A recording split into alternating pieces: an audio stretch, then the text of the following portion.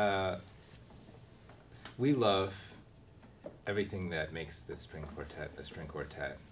So we love playing a Haydn or a Beethoven quartet as much as anything, and we still do it to the best of our abilities. I mean, just because we've gotten an interest in other things does not take us away from what makes a string quartet, where it started, what makes it special. In fact, sometimes when we go afield to some of these other things, and you come back to playing a Beethoven quartet, it just makes you marvel even more deeply at what makes Beethoven so wonderful. Um, the way that you could take it for granted if you ate it every day. Um, uh, that being said, though, I think there's been a lot of things that we've been interested in trying. One interesting project was, uh, um, since we are of Asian heritage, to look at the way that Western classical music has begun to intersect with the um, Asian world. And there are a number of very prominent, uh, in particular Chinese American composers, it seems, that have been writing. Um, and uh, we began to explore some of that music. Um, not, not just because of our heritage, but because it seemed artistically very, very interesting. The aesthetic of some traditional Asian styles and Western classical music did not seem so far apart, and they, it seemed that the, to us that the combination of them would be very beautiful and satisfying in a, in a completely different way than, than Beethoven.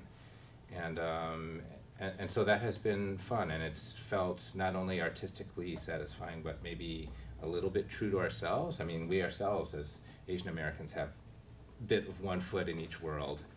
Um, then, then maybe then where it sort of branches out more into like the idea of um, making the connections even more important, we decided we would like use it in programs based on a food idea. So we played a lot of these pieces, which happened to be smaller, as little bites of food, and we called it dim sum. So after the way of eating, it, it was it's just a title. It's just a way of people can think of it, but maybe makes it more that much more approachable to people. Just that little cue there. Um, another thing we did, one maybe one of you guys want to talk about, is how we've decided to handle commissioning new music. Uh, we, we've um, had the wonderful opportunity throughout our career to commission music. We feel very strongly about it. It's, it's exciting. We are playing in the tradition of string quartets that have been around for hundreds of years now.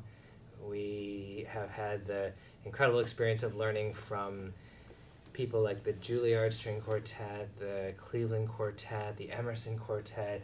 It's great to be part of that tradition and to keep it alive at the same time, we wouldn't be here without the music. And so it's really, it's so exciting to be a part of continuing to build the repertoire and, and hoping that you have some part in creating the classics of today that 200 years from now people will be saying wow the Ying quartet commissioned that piece. That would be really uh, i mean that would, that would be extremely gratifying. Um, in any case it's, it's fun to work with these composers. Um, we have a, a, commissioning, specific commissioning project um, that we call Life Music. Um, and that's, that grows out of our desire to always remember the connection between the music that we play and the way that we are trying to communicate that music and the audience. We want it to say something about our, our shared humanity, so we call it Life Music.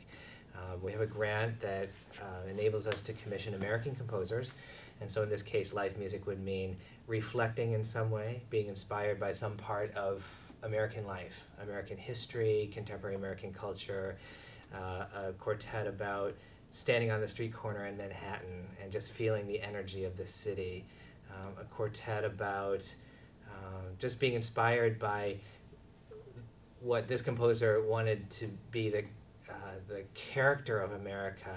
She called it Eagle at Sunrise. This is Augusta Read Thomas. Um, and uh, she recognized, uh, as she said, you know, this the, the eagle is our, a symbol of our, our, our nation, and why? Because of the, the strong, brave characteristics that we assign to the eagle, and that's, um, that informs the character of the piece. Uh, so we've really enjoyed commissioning over 20 pieces now in this vein. Uh, we, we want the pieces still to be the result of the composer's imagination without any kind of limits um, or even necessarily directing it a certain way, but just to be, again, a, a connection between us, the music that we play and the audience and the listeners, and for it to be a powerful statement of, of why we do this.